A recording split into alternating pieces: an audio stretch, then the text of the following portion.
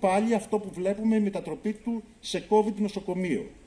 Βγήκε ο Υπουργός Υγείας και δήλωσε ότι πλέον δεν θα κλείσει το ΕΣΥ, υποκριτικά το δήλωσε αυτό, και ότι 50% κλίνες θα είναι COVID και 50% ε, ε, λυπής νοσ, ε, νοσηλείας. Ε, αυτό δεν είναι έτσι, γιατί αν μετατραπεί το 50% σε COVID στο νοσοκομείο μας ή σε οποιοδήποτε νοσοκομείο σημαίνει ότι κλείνει. Αναστέλλονται χειρουργία, δεν μπορείς να κάνεις εισαγωγές στα υπόλοιπα περιστατικά, γιατί ήδη τα νοσοκομεία ήταν πάρα πολύ επιβαρημένα. Ουσιαστικά αυτό δεν ισχύει. Εδώ θα πρέπει ο ιδιωτικός τομέας να αναλάβει τις ευθύνες του και εμείς ως Ομοσπονδία ζητούμε την άμεση επίταξη του, των μεγάλων κλινικών, των μεγάλων νοσοκομείων των ιδιωτικών, ώστε να μπουν και αυτά στη μάχη της πανδημίας και να μπορεί ο κόσμος να βρίσκει ε, ποιοτικές υπηρεσίες υγείας και δωρεάν.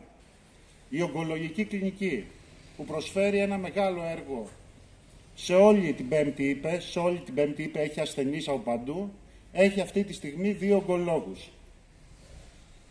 Η παιδιατρική κλινική, η οποία αντιμετωπίζει την εφημερία ενός νομού που ξεπερνάει τις 300.000 και έρχονται και από άλλες περιοχές, έχει μόνο δύο γιατρούς.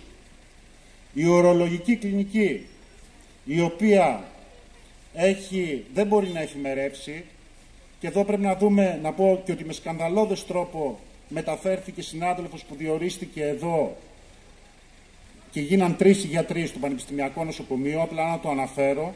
Δεν μπορεί αυτό να... Όταν ένα νοσοκομείο έχει δύο, ε, τρεις, πρέπει να παραμείνουν τρεις. Αυτή τη στιγμή δεν βγαίνουν οι εφημερίες.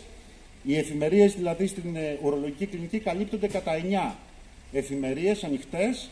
Οι υπόλοιπες, αν ένα περιστατικό έχει πρόβλημα, αν εφημερεύει κάποιος στο πανεπιστημιακό θα πάει, μερικές φορές δεν εφημερεύει και μπορεί να φτάσει ως τη Λαμία. Επίσης, η κλινική του νεφρού έχει μόνο δύο ειδικούς νευρολόγους, νεφρολόγους και θα πρέπει άμεσα να γίνουν προκηρύξεις. Υπάρχουν και τμήματα που διαλύονται τώρα. Έχουμε παρετήσεις, νέα παρέτηση από το ακτινολογικό, το οποίο οριακά λειτουργεί και δεν θα μπορεί να λειτουργήσει ένα τόσο σημαντικό, ένας τόσο σημαντικός κρίκος στη λειτουργία του νοσοκομείου. Φεύγουν με συνταξιδοτήσεις στο μικροβιολογικό που πρέπει άμεσα να αντικατασταθούν, πρέπει να πάρουμε επικουρικούς άμεσα και ε, να προκηρυχτούν τώρα θέσεις. Επίσης θέλω να αναφέρω εδώ πέρα ότι δεν ξέρω, θα είχατε δει και τις ανακοινώσεις, λέω στους ε, ε, υπόλοιπους εργαζόμενους που μας στηρίζουν σήμερα, θα έχετε δει και τις ανακοινώσεις για τον προϋπολογισμό του νοσοκομείου, ο οποίος είναι υπέστατος, υστερεί κατά 3 εκατομμύρια, το έχουμε φωνάξει, εδώ και τόσο μεγάλο χρονικό διάστημα μας λένε ότι το πρόβλημα θα λυθεί και γίνονται εξετάσεις στα επίγοντα όπως και σε όλα τα τμήματα του νοσοκομείου με το σταγονόμετρο, παίρνοντας την ευθύνη οι θεράποντες ιατροί και πολλές φορές και οι εργαστηριακοί, που δεν μας αναλογεί, ε, για τη μείωση.